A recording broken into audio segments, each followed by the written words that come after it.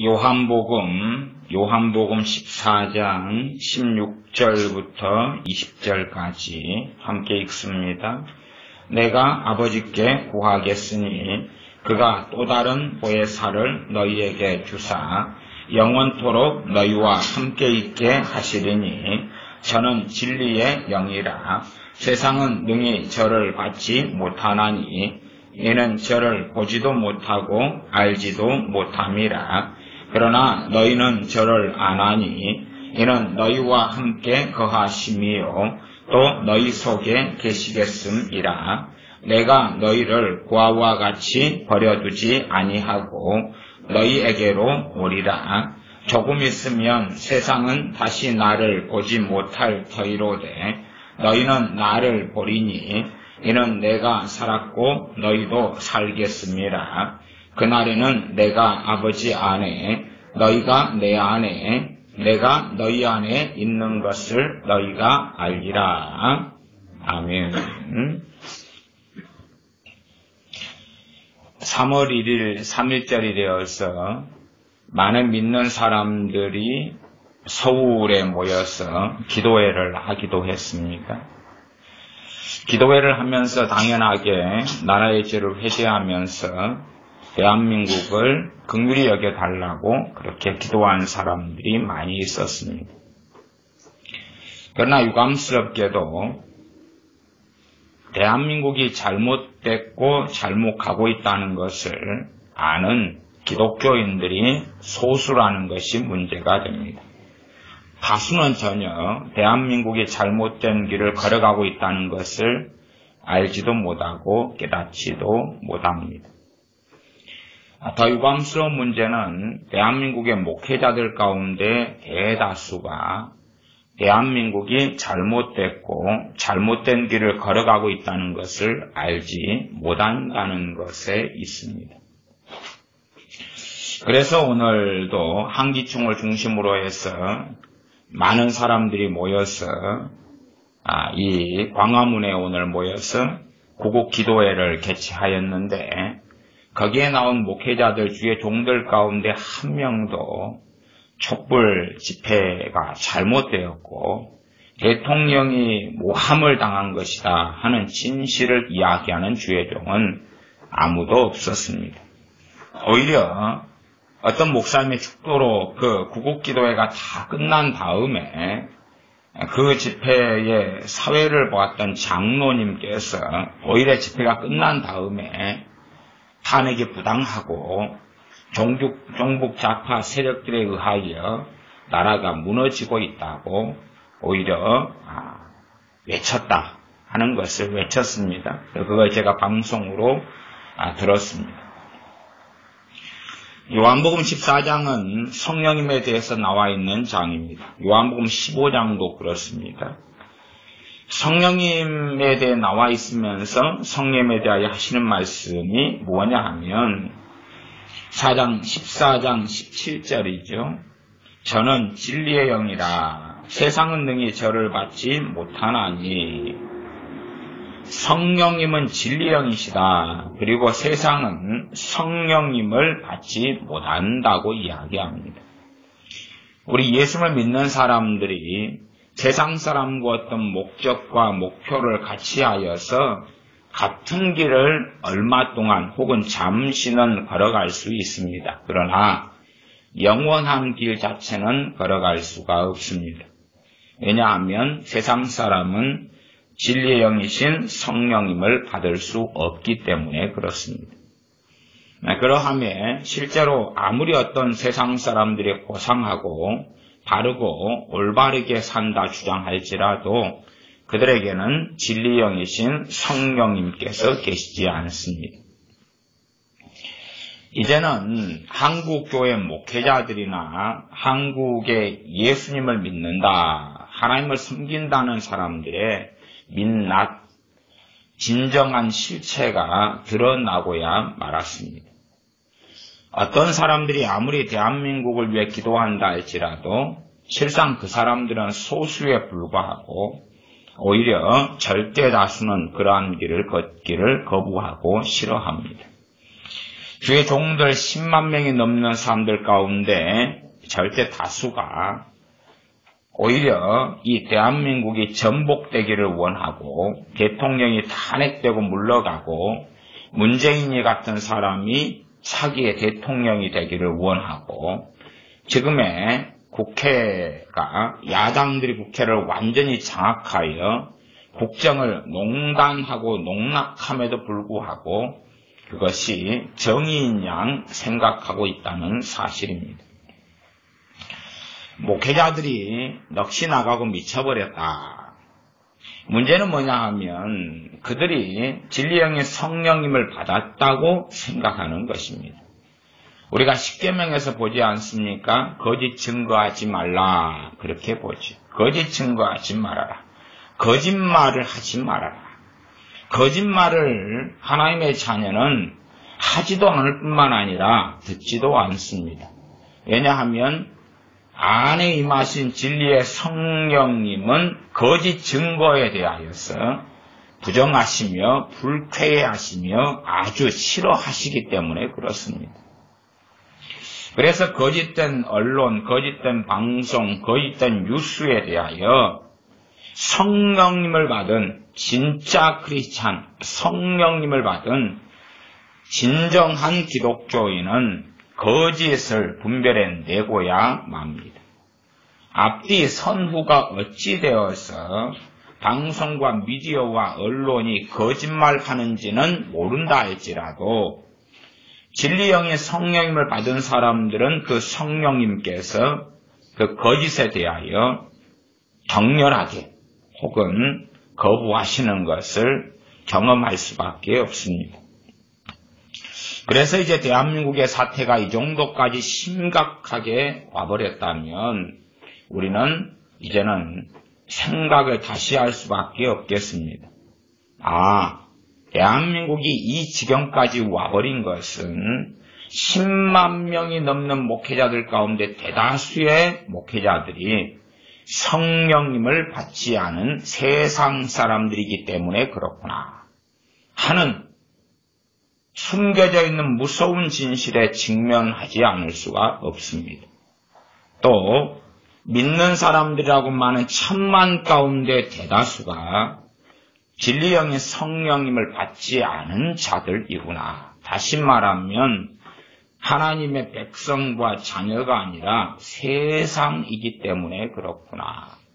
그들이 세상이기 때문에 진리형의 성령님을 받지 아니했으니 진리형의 성령님을 통하여서 분간할 수도 없고 알 수도 없다. 심지어 세상 사람들 또한은 진실에 대하여 눈이 가리워져 버리고 말고 그리고 진실을 알아들으려고 하지도 않고 보지도 않고 알지도 못한다는 사실입니다. 하나님의 백성들이라고 자칭 주장하지만 그러나 우리 주님께서 말씀하신 대로 내가 아버지께 구하겠으니 14장 16절이죠. 그가 또 다른 보혜사를 너희에게 주사 너희가 누굽니까? 주님의 제자들입니다. 주님께서 또 다른 보혜사인 성령님을 아버지께 구하여서 너희에게 아, 주게 하겠다. 너희는 누굽니까? 주님을 따르는 진정한 기독교인, 진실한 기독교인, 주님께서 자신의 제자라고 인정하시는 사람들입니다. 마태복음 7장에 보면 어떤 사람들이 주님의 이름으로 권능을 행하고 많은 이적을 행하고 선지한 노릇을 해도 주님께서 내가 너희를 도무지 알지 못한다. 나를 떠나가라 불법을 행하는 자들아 말씀하시는 것. 그러한 것이 많은 사람들에 대하여서 이루어진다고 말씀하셨던 것처럼 많은 사람이 나는 예수를 믿기 때문에 하나님의 자녀라. 나는 찬양할 때에 성령의 감동 감화가 있다. 나는 환상을 보고 꿈을 꾼다. 라고 주장해도 실제로는 성령님을 받지 않은 사람들이 유감스럽게 허다하다. 그렇게 이제 대한민국의 민낯, 기독교의 민낯, 기독교의 화장 안 한 얼굴, 가면 안 쓴 얼굴, 대한민국이 이 지경까지 와버린 다음에야 이제는 역사들의 정체가 드러나고야 말았다는 사실입니다. 10만 명이 넘는 목사들, 또 천만이 되는 기독교 신자들, 10만 명이 넘는 목사들 가운데 또한 1만 명이 넘는 선교사님들이라고 하는 사람들 가운데 도대체 얼마나 몇 명이나 대한민국이 거짓 언론의 농간에 속고 있고 또한 대한민국이 공산주의 사상을 가진 자들에 의하여서 농락당하고 있으며 대한민국이 심각한 위기 가운데 풍전 등화에 빠져 있다는 것을 진실하게 말하고 그리고 제대로 된 이야기를 하는 사람이 누가 있는가? 유감스럽게도 소수밖에는 없습니다. 절대 다수는 아무 관심이 없죠. 절대 다수는 아무런 관심이 없습니다. 계속하여서 이야기하는 거죠. 하나님이 여러분을 사랑하신다고. 하나님께서 여러분에게 복을 주신다고. 오늘도 한기총 주관으로 해서 모인 후국기도회에 여러 목사님들이 나오셨고, 그리고 그분들이 하는 설교나 말들, 순서에 따라서 하는 말들을 또한 들어보았는데, 결국은 같은 이야기입니다.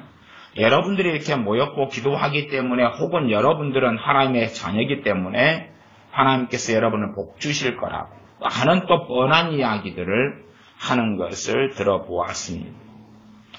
과연 그렇게 희망적이고 그렇게 듣기에 즐거운 이야기들을 계속 하는 사람들로서 인생을 마감하고 심판대 앞에 서게 될 사람들이 목회자들이고 교인들이 되고야 말 것인가. 그래서 지금까지 평안의 시대에 와서는 천만이 되는 기독교인들이 또한 10만이 넘는 주의 종들 목회자들이라고 하는 사람들이 나는 성령님을 받았다. 내게는 진리의 영의 성령이 임하셨다. 그렇게 평안의 때는 주장할 수가 있었습니다. 그러나 이제는 참과 거짓이 드러나는 시대에는 그렇게 주장할 수가 없다는 사실입니다. 진리의 영이 그 안에 임하신 사람들은 결국은 최소한은 참과 거짓은 분별하게 될 수 있는 것입니다. 역사가 어떻게 흘러가는지를 다 알지 못하더라도 또한 언론과 신문, 방송, 기자들이 무슨 거짓과 음해를 섞었다 하는 것을 앞뒤 기승전결을 모른다 할지라도 진리형의 성령님께서 그에게 임하여 있는 사람들은 진리형의 성령님께서는 거짓 증거에 대하여서 거부하시기 때문에 그렇습니다. 그러나 진리형의 성령을 받았다고 주장하는데 거짓을 믿고 거짓을 동참해가는 사람들, 그들이 목사들이고 기독교인들이라면 그들은 더 이상 기독교인들이 아니다. 그들은 더 이상 예수님을 믿는 사람들은 아니다. 그렇게 이제는 결론 지을 수밖에 없습니다. 목회자들이 눈이 가려졌고 성령을 받지 않았기 때문에 대한민국은 망해가는 것이고 교회는 또한 타락해져 왔던 것입니다. 성령님이 아니라 자신의 유격을 따라서 자신의 이성과 논리와 감정을 따라서 자신의 생각을 따라서 성경을 해석하고 자신의 있는 정욕을 따라서 사람들이 듣기 좋은 이야기들을 전파하고 살아온 교회가 되었기 때문에 대한민국이 이 지경이 되어서도 그들이 지도자들로서 바른 외침을 하지 않았다는 것을 알 수가 있습니다.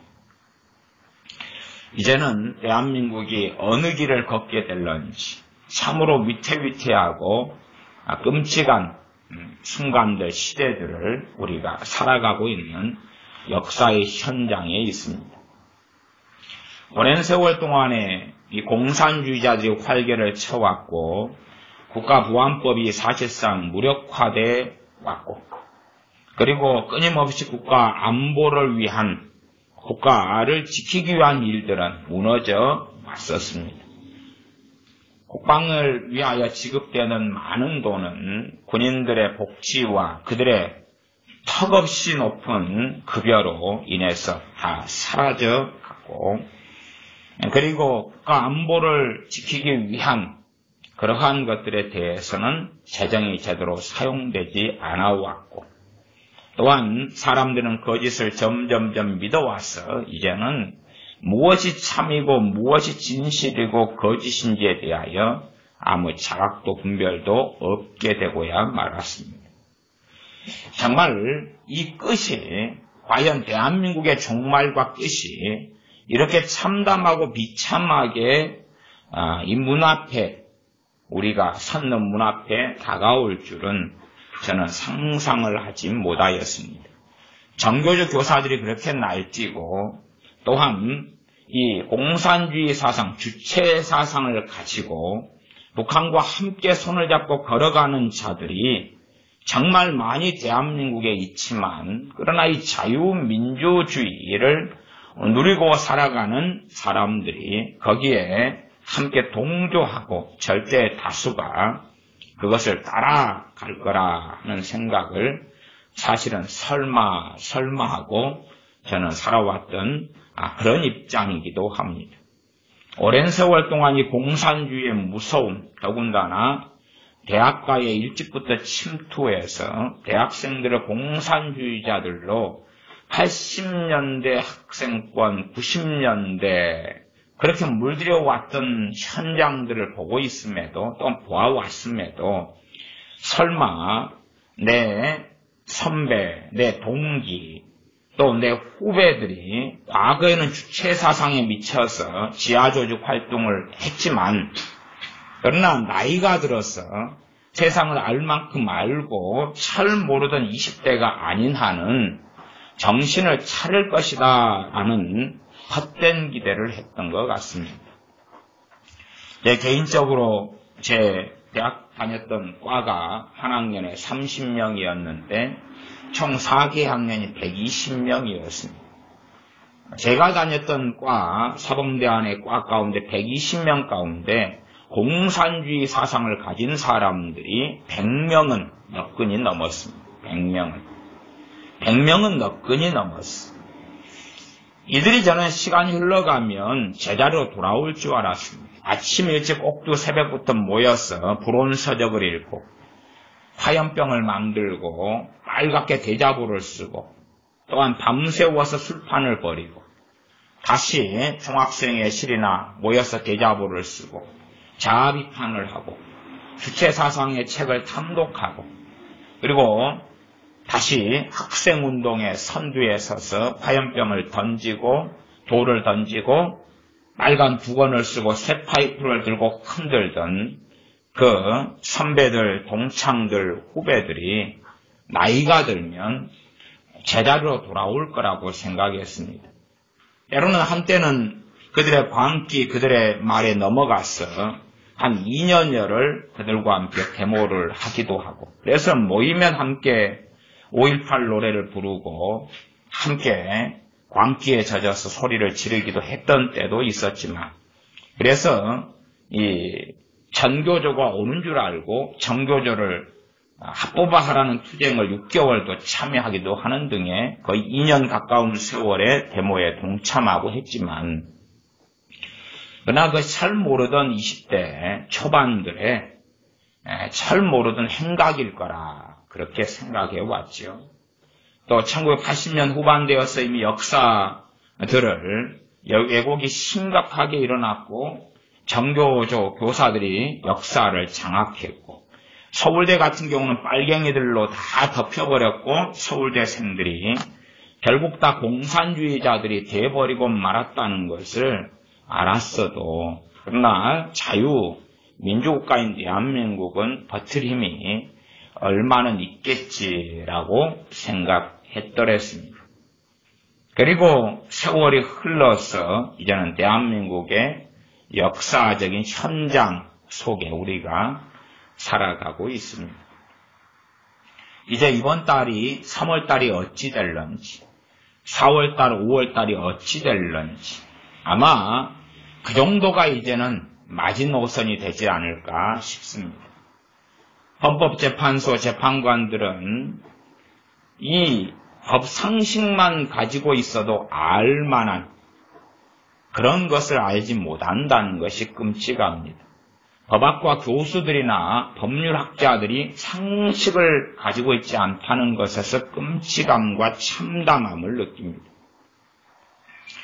예를 들어 대한민국 헌법은 양이 많지가 않습니다. 총 130개 조밖에 안 됩니다. 130개 조. 거기에 이제 부칙이 몇 개가 있습니다. 양이 그렇게 많지 않은 것이 헌법입니다. 그 가운데 대통령에 대해서도 그렇게 많은 헌법 조항이 있지는 않습니다. 그러나 대통령에 대한 헌법 조항 가운데 하나가 대통령은 내우 외환의 일 말에는 형사소출을 받지 않는다. 그렇게 명백하게 되어 있습니다. 형사소출한 말을 사람들이 잘 이해하지 못하니까요. 형사소출을 사전적으로 찾아보면 탄핵받지 않는다 그 말입니다. 형사상의 죄를 물을 수 없다는 거지. 언제까지는요? 대통령의 임기가 끝날 때까지는. 대통령 임기가 5년 끝난 다음에 보통 사람의 신분을 가진 다음에는 당연히 범죄에 대하여 조사도 하고 그리고 보통 사람인 우리가 가지는 대로 처벌도 그대로 받는다 그 말이. 그러나 대통령일 때는 두 가지 죄 말고는 조사받지 않는다. 탄핵도 받지 않는다. 그 말이에요. 대통령보다 급수가 훨씬 떨어지는 국회의원이라 할지라도 금 배지를 달고 있는 한은 상당한 보고를 받을 수밖에 없는 것이 대한민국 법률이 됩니다. 그러나 그런 것을 인식하지 못하고 이 상식, 내후 외환의 죄 말고는 형사소출을 받지 않는다. 그것이 왜 해석이 어렵습니까? 해석의 문제가 아니라 그냥 어려운 소출하는 단어 같은 거 잘 모르면 국어 사전 찾아보면 되고 정말로 법학과 교수들이 또한 헌법재판 소장들이 검사들이 그 단어 하나 모를 리가 없지요. 제가 그래서 이 거의 좌경사상으로 물든 그런 네이버 같은데도 다음보다 꼬리만큼 좀 나으니까 거의 네이버나 다음도 다 좌경화되고 넘어갔지만 제가 네이버 같은데 검색을 해보았습니다. 대통령의 탄핵 소추, 응? 소추 조건, 막 이런 식으로. 그러면 당연하게 이 헌법, 그 헌법이 82조인가요? 헌법이 82조인가요? 그 헌법이? 84조예요, 84조. 헌법 84조의 그 짧은 한 문장 조항이 나와야 되는데, 그것을 눈을 씻고 봐도 찾을 수가 없어요. 아마 그 수천 페이지 넘는 데서 제가 앞에 그냥 10여 페이지만 찾아서 그런지도 몰라요.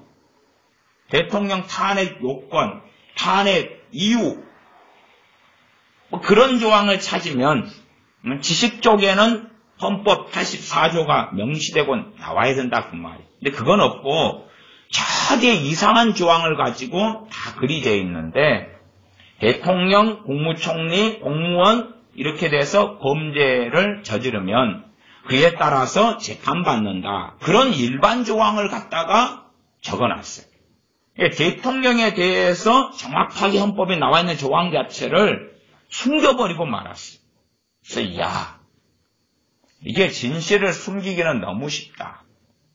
이런 문제는 최소한 전문가가 아니라도 그러한 법조항에 대해서 상식만 가져도 알아야 되는데 그것이 없어져 버렸어요.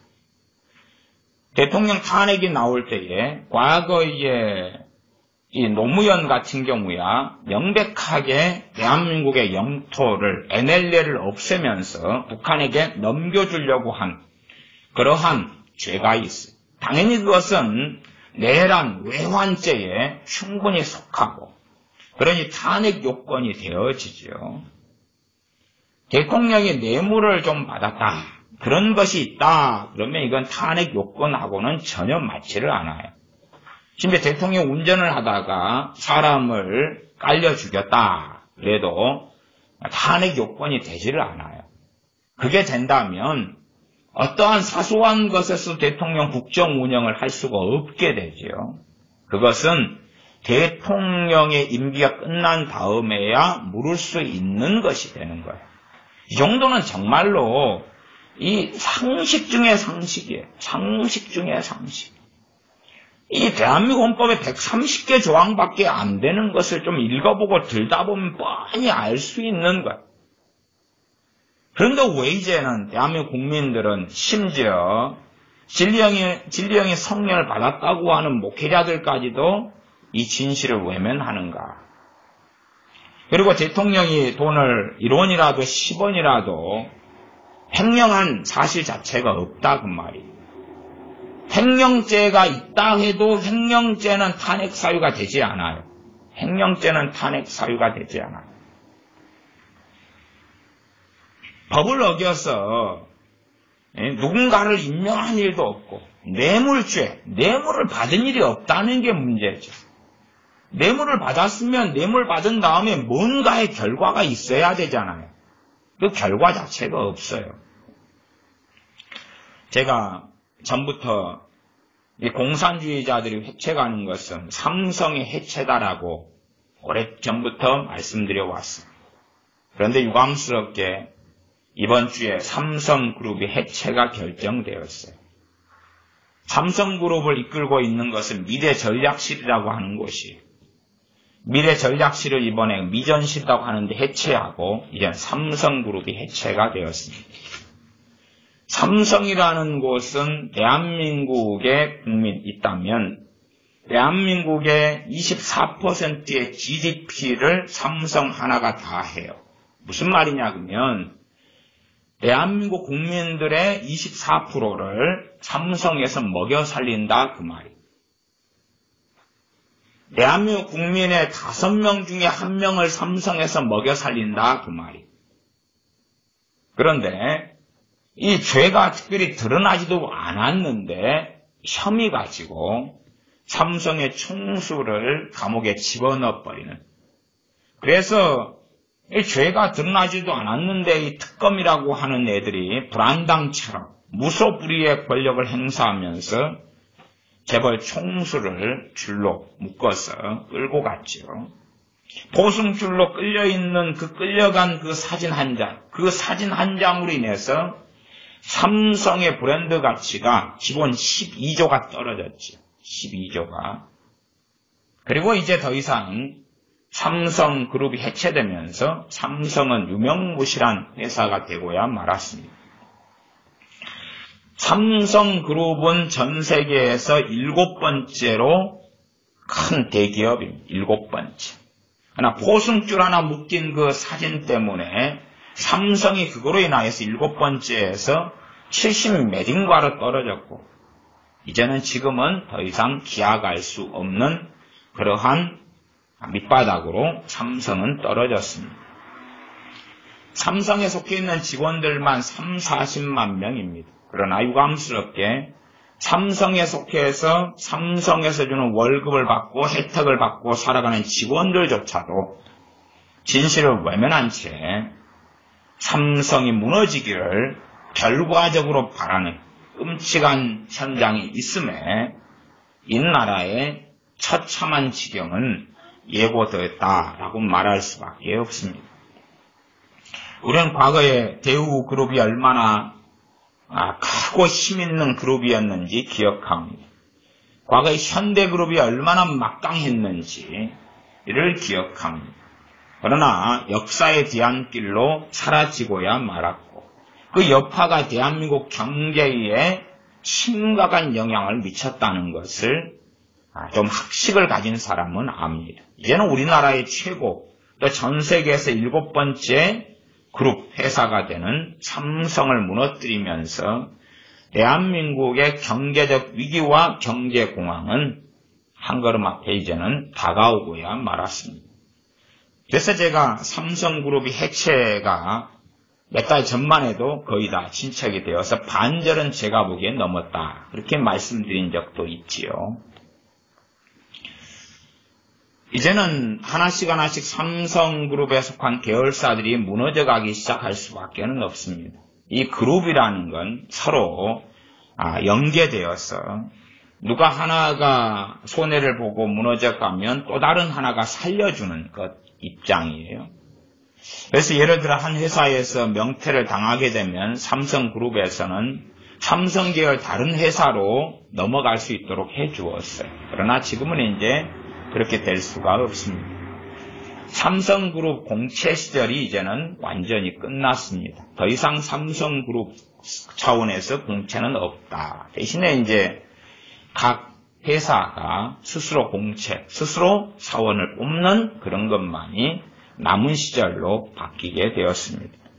삼성그룹의 해체가 어떤 의미를 가지게 되는지 국민들은 아직은 아, 현실적인 눈을 뜨지 않아서 모르는 것 같습니다. 그러나 그에 대한 심각한 일은 곧 닥쳐올 테니 도끼로 자기 발등을 찍는 바에야 발은 잘려 나갈 것이고 장애인이 될 수밖에 없는데 그 길을 선택했음에야 아, 당연히 그 책임은 대한민국 국민 전체가 질 수밖에 는 없을 겁니다.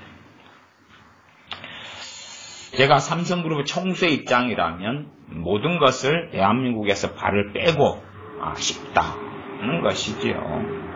아, 그것이 이재용 총수, 이혜종, 이 아, 부회장의 입장이 아니겠는가 상식적으로 생각을 해봅니다.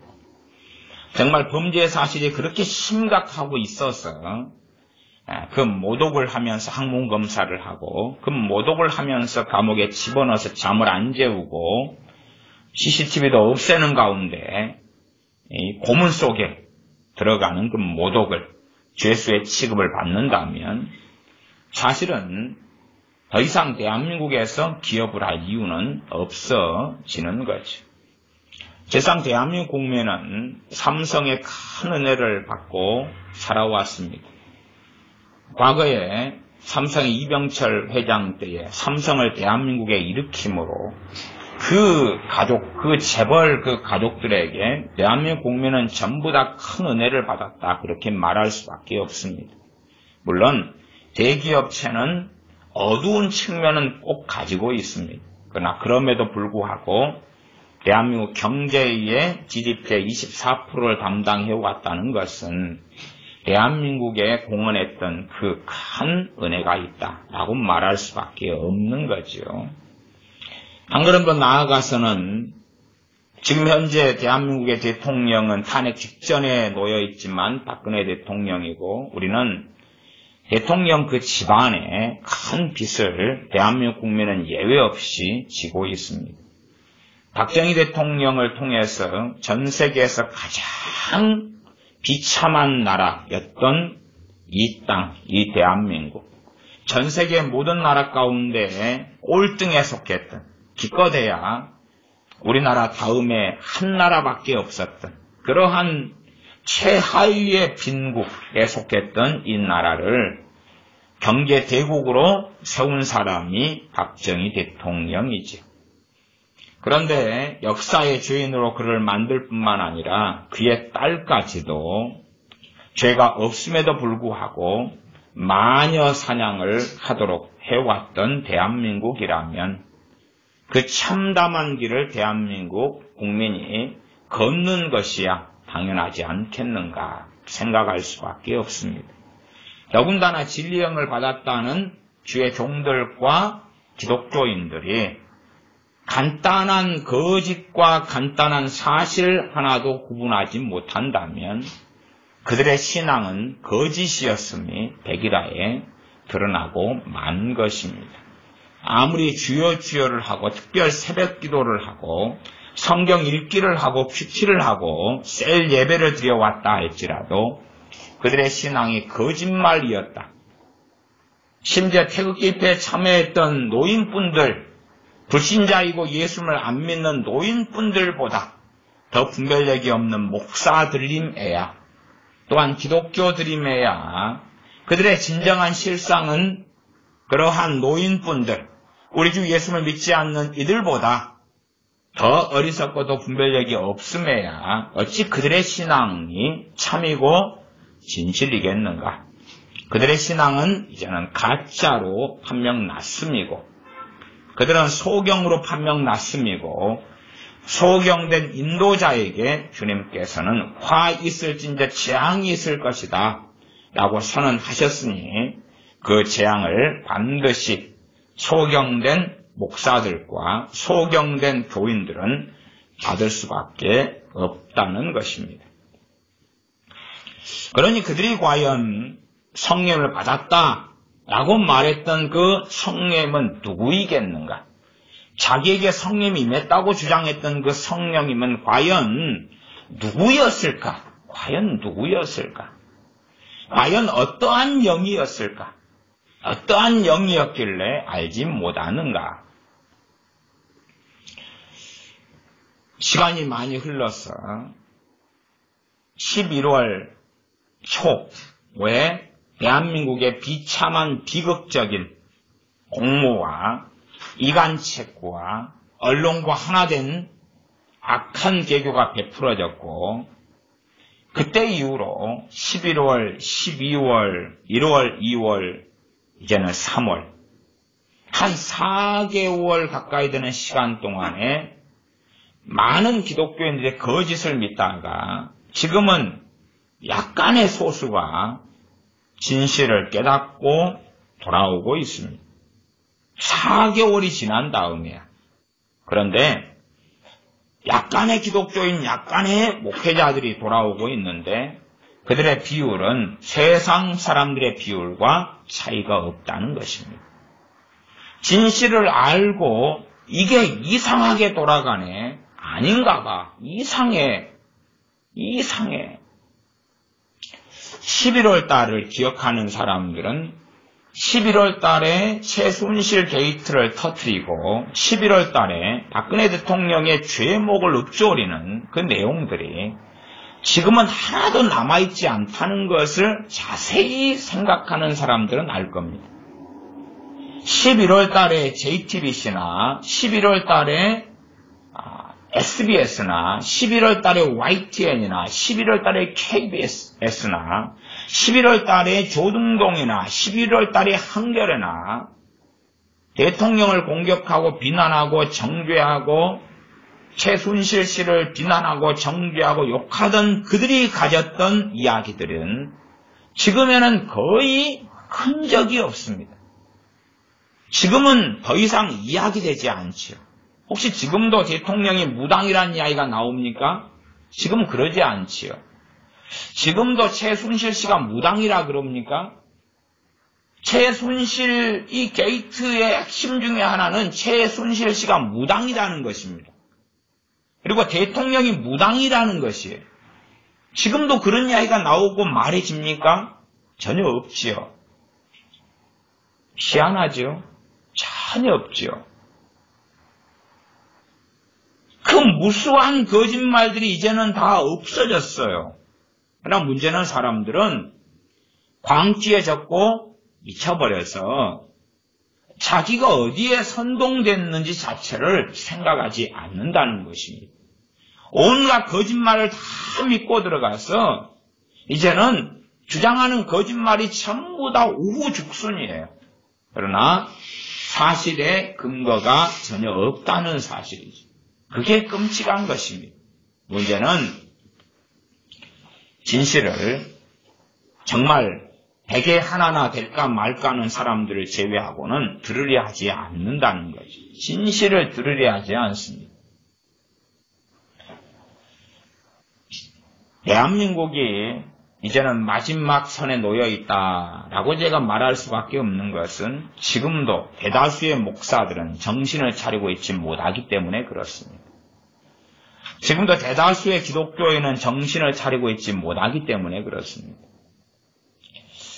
그렇게 많이 기도를 하고 음, 그렇게 많이 태극기에 그 노인분들이 중심이 되어서 모여서 그렇게 많이 외쳐왔건만 그러나 주님께서 말씀하신 대로 이 세대를 어디에 비유할고 피를 불어도 춤을 추지 않고 반응하지 않는 그런 세대처럼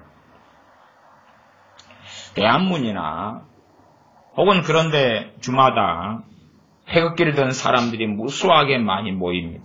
그리고 그 많은 면적을 빼빼하게 사람들이 채웁니다. 오늘 3월 1일에는 더 많은 사람들이 그 자리를 채웠습니다.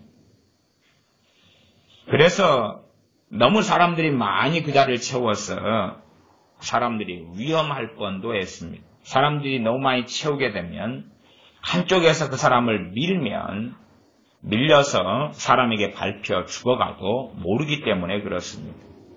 오늘도 사람들이 너무 많이 태극기 사람이 운집해서 그래서 더 이상 밀어도 움직이지 못하는 지경까지 가서 경찰 라인을 좀 물러서 달라고 몇 번이나 방송을 했습니다.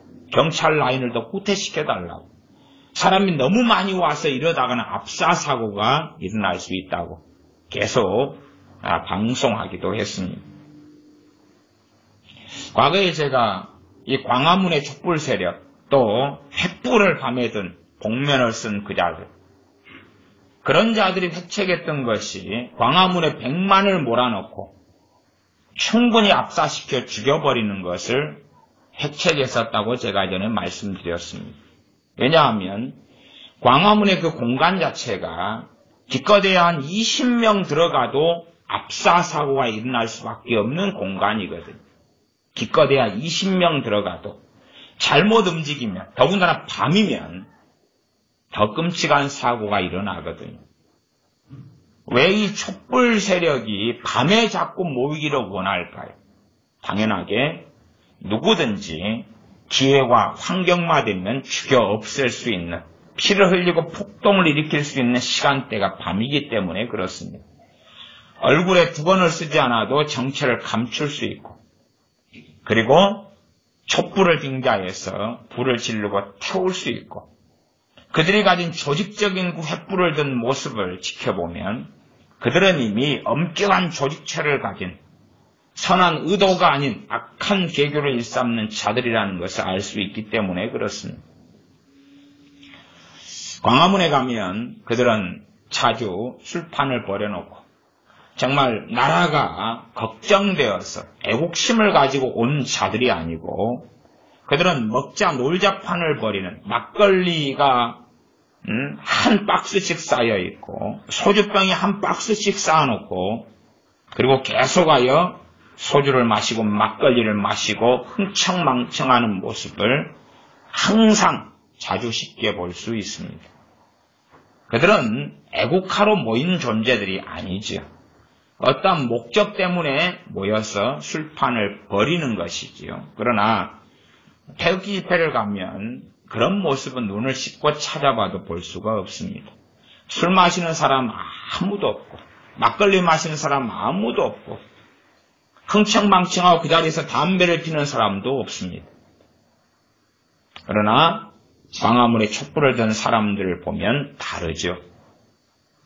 그들은 뭔가의 영에 쉬인 사람들이고 그들이 가지고 있는 구호를 보면 그들이 바로 대한민국을 전복시키려는 세력이라는 것을 알 수밖에 없는 거지. 최소한 기독교인이나 목사들이나 이런 사람들이 진령의 성령을 안 받았다. 그래서 무늬만 기독교인이다. 무늬만 기독교인이다 그래도 최소한의 양심은 있어야 될 것 아닙니까? 최소한의 양심이라는 것은 두세 증인마다 말마다 증참케 하라. 성경은 증인주의이기 때문에 뉴스와 언론과 미디어를 믿을 수 없다면 그걸 믿는 것도 이상하지만 최소한은 돈을 들여서라도 차비를 들여서라도 태극기 집회도 가보고 광화문 집회도 가보고 그래서 현장의 실제 상황이 어찌 됐는가를 확인해라 그 말이죠. 현장의 진실한 상황을 확인을 해야죠. 아마 오늘 모인 이 광화문에 모인 촛불 세력과 태극기로 모인 애국 시민들의 숫자 차이가 제가 볼 때는 한 100배 이상의 차이가 난 것 같습니다. 100배 이상의 차이가. 100배 이상으로 태극기를 흔들면서 모인 애국 시민들이 많았다 그 말이지. 그러면 그거에 대하여 방송과 뉴스는 어떤 보도를 하느냐, 어떤 공정 보도를 하느냐를 지켜볼 수밖에 없죠. 최소한, 최소한 그런 것을 확인하면서 얼마나 언론이 가짜고 거짓인지. 그러나 실제로는 우리 그리스도인들은 진리영인 성령을 받은 사람들은 그렇게 해볼 필요조차도 없다는 사실이죠. 거짓에 대하여 성령님께서는 그리스도인들에게 임하신 진리형이신 성령님께서는 거부하시니까 그렇다는 사실이죠.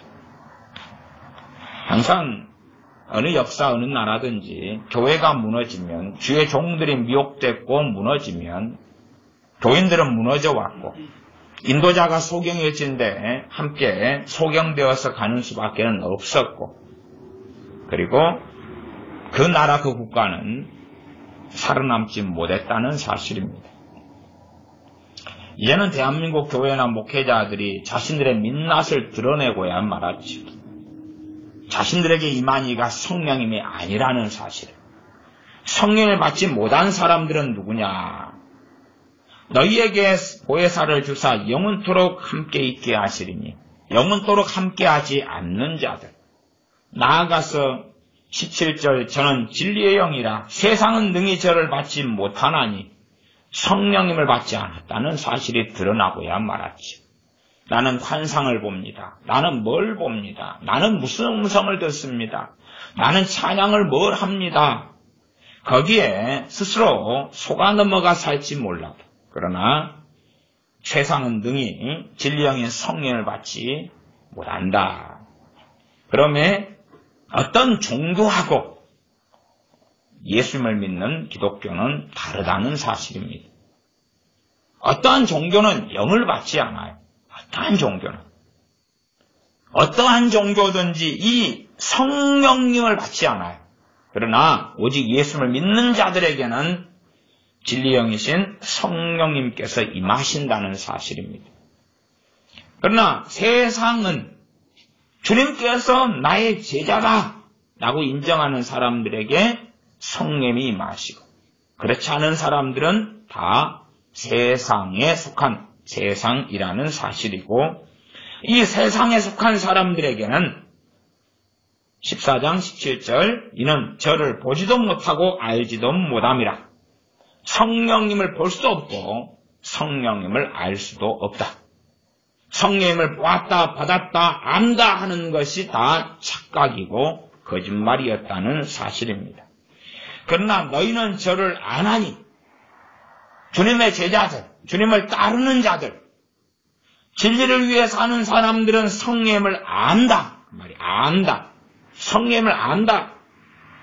저는 너희와 함께 거하시며 또 너희 속에 계시겠습니다. 성령님께서 진리 영일 받은 성령님을 받은 진실한 그리스도인들, 기독교인들 안에는 성령님이 계시고 성령님이 역사하시고 성령님께서 그들을 이끄시기 때문에 그들은 성령님을 알 수밖에 없다는 사실입니다.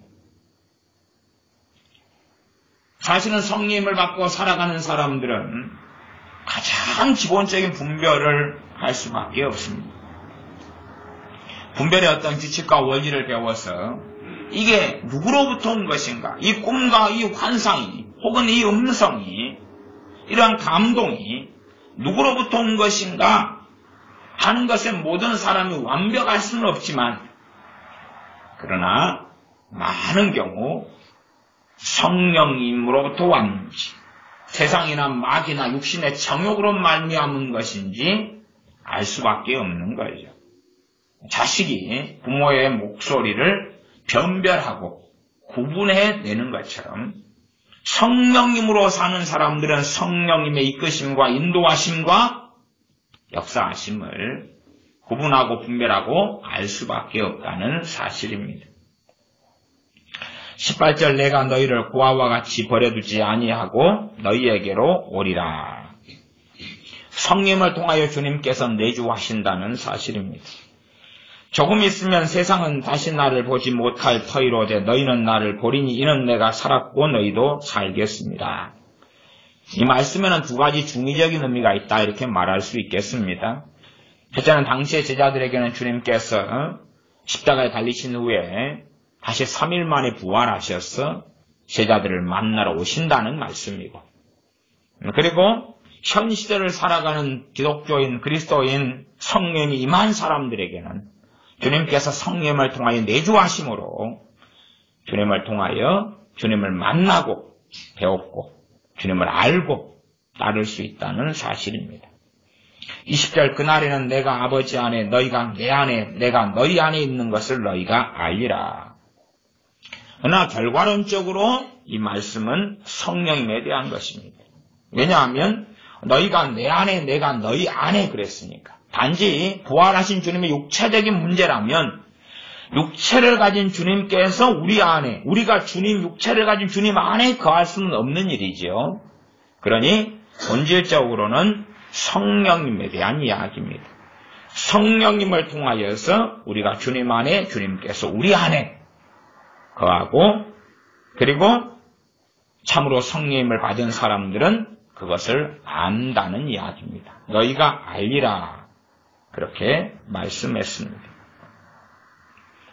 이제 경제적인 아, 몰락, 대한민국의 경제적인 몰락은 언제 어느 때 벌어질지 알지 못하는 그 상황 속에 이제는 돌입하는 카운트다운이 시작되었습니다. 삼성그룹이 해체되고 그리고 이제 걷는 길이란 그 타격과 그 영향은 당장은 눈에 보이는 것처럼 나타나지 않아도 심각하게 닥쳐올 수밖에 없습니다. 단지 삼성그룹에 속한 직원들이 3, 40만 명, 뭐 정확히 얼마 드는지는 제가 잘 몰라도 그 정도. 또 거기에 관련된 협력업체들이나 회사들은 과연 얼마쯤이나 될까? 음, 그 상상하지 못하는 회사들. 그리고 또 그 회사나 업체들은 다른 회사와 업체들과 밀접한 관련을 굉장히 많이 가지고 있죠. 우리나라는 끊임없이 부동산에 대한 욕심과 탐욕이 가득하여 투기가 항상 많아왔습니다. 아파트 투기, 땅 투기.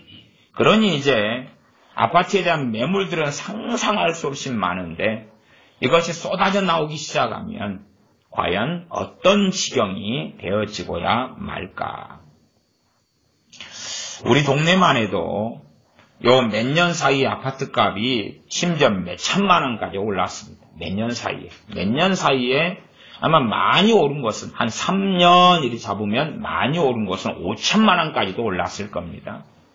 근데 과연 그렇게 오를 이유가 있느냐는 거죠. 과연 오를 이유가 있느냐? 사실은 오를 만한 이유는 없습니다. 관광지기 때문에 굉장히 많은 펜션, 리조트, 그리고 호텔들이 지어지고 있지만, 그럼에도 불구하고 아파트라면 사실은 수요와 공급에 따라서 결정되는 거죠. 그런데 수요는 많은데 공급이 적다면 올라야 되는데, 근데 문제는 공급은 호화 상태처럼 아파트는 지금도 어마어마하게 지어지고 있고, 인구 증가율은 없다는 사실이죠. 오히려 인구가 조금씩 떨어집니다. 보통은 한 해에 우리 도시의 인구가 5천 명씩 감소해 왔어요. 한 해에. 아마 지금은 이제 그 수가 좀 더 줄어들었을 거라고 생각해요. 그렇지만 대한민국 전국에 있는 이 소도시들의 인구는 아, 감소되어 와요. 항상 수도권 집중 현상이 계속 일어나기 때문에 예컨대 부산 같은 데 인구만 조금 증가돼 가고 뭐 몇 도시 말고는 대부분이 다 감소해 갑니다. 그것이 관광도시가 더 심화되면서 감소가 주춤하긴 했으나 다시 말하면 아파트 수요가 그렇게 있지 않다 그 말이죠. 그러니까 왜 아파트 값이 그렇게 올라가고 더 많은 아파트가 지어지느냐 하면 투기 때문에 그렇죠. 투기 때문에. 그 투기 바람이 심각해져 가는데 과연 아파트를 몇 채씩 사놓는 것이 과연 자기 돈일까? 대부분 자기 돈이 아니라 대출받고 빚낸 돈이라는 사실이죠. 그러니 이 은행의 이자율만 좀 증가돼 가도 심각한 타격을 받을 수밖에 없는 것이 각 사람들의 환경이고 여건이 되고야 말 것입니다. 돈을 사랑함이 일만 악, 일만 악의 뿌리가 되나니 그로 말미암아서 결국은 심판을 자초할 수밖에 없는 참극을 자초할 수밖에 없는데 한국 사람들 같이 전 세계에서 돈을 사랑하는 민족은 드물 것입니다. 목회자도 교회도 또한 한국 국민들 각자마다 돈을 사랑하는 탐욕은 극에 달해 있다는 것을 우리는 압니다. 그러면 이제 그러한 경제적인 위기는 풍견등화처럼 코앞에 다가왔고 그리고 대한민국이 공산화될 위기도 이제는 코앞에 다가왔습니다. 최소한은 정신을 차린 사람들이라면 지금의 내가 대통령이 되겠다라고 나온 사람들이 뭘 주장하고 있는지, 그가 이력이 무엇인지, 그가 줄곧 무슨 말을 해왔는지를 알 터인데, 그 정도도 알지 못하고, 이 공산주의 사상을 가진 사람을 대통령으로 뽑는다면, 아마 그것이 대한민국의 마지막 대통령일 거라 저는 그렇게 생각합니다. 공산주의 사상을 가진 사람을 뽑아놓는다면 반미, 국가보안법 폐지, 사드 배치 반대, 제주 기지 건설 반대, 주한미군 철수, 한미연합사 해체, 연방제 실시, 평화협정, NLL 폐지 이런 것 등등 주장하는 사람이 대통령이 된다면 이제는 대한민국의 자유민주주의국가로서는 마지막이 될 것이고 그건 순식간에 이제 대한민국은 더 이상 과거에 월남이 공산화의 길을 걸었던 것처럼 그렇게 될 수밖에 없겠습니다. 기껏해야 지금 우리나라의 주한미군이 2만 8천 명 정도 남아있죠. 2만 8천 명. 2만 8천 명 남아있는데 다음의 대권을 가지는 사람이 누가 될런지에 따라서 미국과 협정을 어떻게 맺어갈 것이냐를 결정하겠지. 협정을 어떻게 맺어갈 것이냐.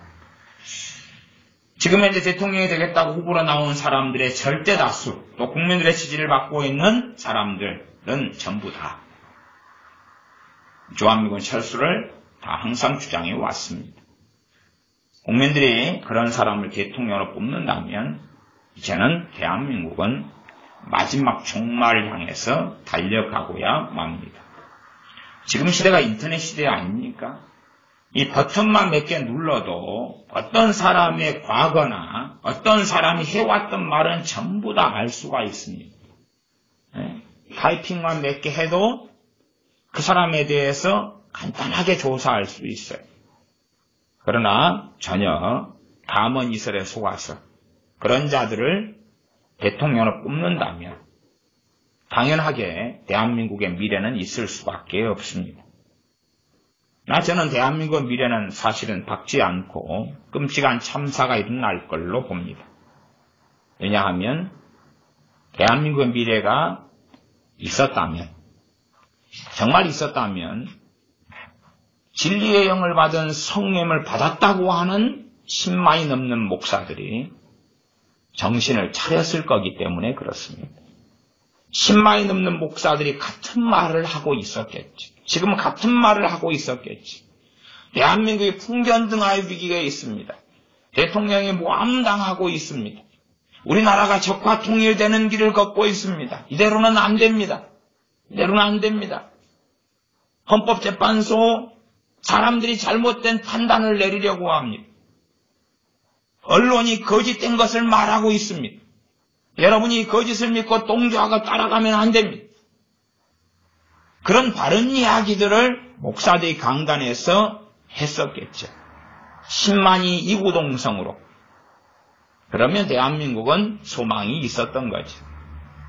그러나 정말 많은 목사들은 과거에서부터 북한은 자유로운 국가입니다. 북한은 자유 종교의 자유가 있습니다. 북한에 있는 봉수교회는 진짜 교회입니다. 거기는 내가 북한에 있는 봉수교회 사람들을 만나보니 믿음이 좋읍디다. 그런 이야기를 20년 전에도 하고, 10년 전에도 하고, 지금도 하고 있다는 사실이죠. 목사들이. 그러니 사실은 그들이 진령인 성령을 받은 사람들일 수가 없는 거죠. 목사들이 정신을 차리고 깨우쳤다면, 또 그러고 있다면, 제가 이야기하는 건 소수가 아니라 다수를 이야기하는 것입니다. 아시지 않습니까? 이스라엘 백성이 광야에 있을 때 12명의 정탐꾼을 보냈습니다. 12명의 정탐꾼 가운데 다른 이야기는 12명 가운데 2명이 했고 10명은 하나님께 반역을 일으켰고 하나님께 반기를 일으켰고 그리고 군중은 다수를 따라갔다는 사실입니다. 그 두 명 여호수와 갈렙이 하나님 앞에 서서 바르게 말했음에도 불구하고 군중은 여호수와 갈렙의 말을 따르기보다 다른 족장들 10명의 말을 따라서 하나님과 대항하고 대적하는 길을 걸어갔습니다. 12명 가운데 2명이 진실을 이야기해도 아마 우리나라 목회자들의 수치가 그 정도도 안 나올 것 같습니다. 목사님들 12명 가운데 2명이 바른 이야기를 할까? 그렇게 따지면 목회자들 한 10만이 넘는데 선교사님들이 한 1만이 넘고 그래서 뭐 제가 정확한 수치는 모르지만 한 12만 잡읍시다. 선교사님들, 목사님들 12만 명, 뭐 전도사님들까지 해가지고 12만 명 가운데 2만이라도 지금 바르고 정상적인 이야기를 대한민국에서 하고 있느냐 그 말이에요. 2만 명이라도 그렇지 않다는 걸 알지요? 그렇지 않다는 것. 오늘 3.1절 구국기도회에 목사님들이 결사대를 조직했더라고요. 결사대. 결사대를 조직해서 앞에 나와서 연설하고 말하는, 말하는 것을 보았습니다. 아마 그 결사대들이 마음에 안 들었던 모양이에요. 그래서 11시부터 2시까지, 오후 2시까지가 구국 기도회였어요. 환기총 중심으로 하는. 예, 그것이 이제 애국 집회의 전체 프로그램 속의 일부를 기독교에 예, 준 거지요. 2시부터 본격적인 애국 집회였고 11시부터 2시까지가 애국 집회 일부였어요. 환기총에서 주도하는 주관하는. 물론 다 거의 대부분 다 태극기를 가지고 왔더군요. 근데 한 시가 좀 넘으니까 아, 대부분의 목사님들은 다 떠나고 물러갔어요. 한 시 좀 넘어서 에, 교회로 한다면 축도를 하고 다 떠났어요. 그럼 대한민국이 심각하다는 이야기보다는 그냥 통일해야 된다는 이야기. 뭐 그런 기도에 에, 말하자면 촛불과 태극기가 하나 돼야 된다. 화합해야 된다. 어떻게 화합하죠? 촛불과 태극기가 화합될 수 있는 이야기인가요? 대통령 탄핵 시켜야 된다와 탄핵 기각되고 각하돼야 된다가 의견을 어디서 맞출까요? 의견을 어디서 맞추죠? 제3의 의견? 하나 돼야 된다. 그리고 이제 목사님들 대다수가 내려갔어요. 이제 그리고 구국기도회를 마치겠습니다 하고 마쳤어요. 마친 다음에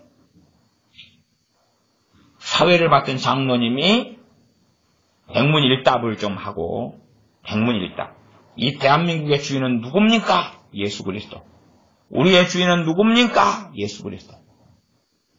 그리고 이제 대한민국이 종북주의 세력 때문에 무너지고 있다는 진실한 이야기를 좀 하고 진짜 그때 다 끝난 다음에 그 다음에 그분이 사회를 보시면서 목사님들이 500명이 결사들을 조직했다고 그리고 그 가운데 대표되는 목사님들이 앞에 나와가지고 선언문을 낭독하는 그런 이야기가 다 끝나고 1시 좀 넘어서 2시 사이에 있었던 이야기. 말하자면 대한민국 유명한 목사님들은 앞에 서가지고 자기 할 것 다 하고 빠이빠이 그리고 진실한 이야기를 아무도 않고 그리고 다 떠나고 그리고 말하자면 뒤풀이 같은 후기 같은 그 시간에 목사님들이 결사들을 조직했다고. 대한민국이 무너져 가니까 결사들을 만들었다고. 그리고 이제 십자가 옷을 걸치고 결사들 500명이 나라를 지키기 위해서 피라도 흘리겠다고. 그리고 아, 나왔었습니다. 그렇게 따져봐야 500명이죠. 그렇게 따져봐야. 결사들을 모집한다고. 집사님도 성도님도 참여해달라고. 그런 광고도 하고. 과연 한 12만 명 되면 그 가운데 몇 명일까? 몇 명일까? 그러니 실상은 우리나라는 과거의 광야 시절에 40년간 하나님께서 죽여버린 그 광야의 이스라엘보다 못한 거죠. 그때는 지도자들, 인도자들 가운데 12명 가운데 2명이라도 정신을 차렸건만, 과연 지금은 12만이라면 2만 명 목사들이 될까? 당연히 되지 않다는 것을 압니다. 소수인 거죠. 너무나 소수여서 아마 숫자를 세어봐도 셀 수가 있을 정도에 한 5천 명만 어디 모여도 숫자 세기가 어려워요. 저는 항상 숫자를 많이 세어왔던 입장이어서 숫자 세는 것은 좀 익숙해요. 심지어는 뭐 숫자 세는 알바까지도 하고 그랬으니까. 또 군인교회에 있을 때는 항상 군인들 숫자를 제가 세는 것, 숫자 파악은 제가 해서 항상 숫자를 파악하고 세서 보고하는 입장이었기 때문에 숫자 세는 건 굉장히 사실이 익숙해요. 그러나 이제 한 몇천 단위가 되어버리면 숫자 세는 것이 좀 어려워요, 이게. 구체적으로 몇 명까지 세는 것은 플러스 마이너스 오차율이 굉장히 많이 나버려요. 좀 어려워요, 사실.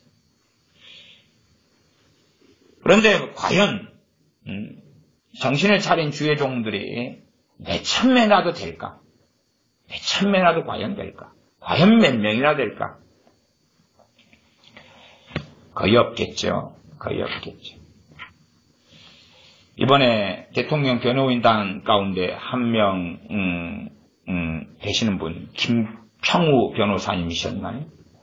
그분의 탄핵을 탄핵한다는 책이 베스트셀러 1위에 올라 있는 걸 아시죠? 베스트셀러 1위 그러면 2위는 누구냐? 문재인이 책. 3위는 누구냐? 면 안희정 책.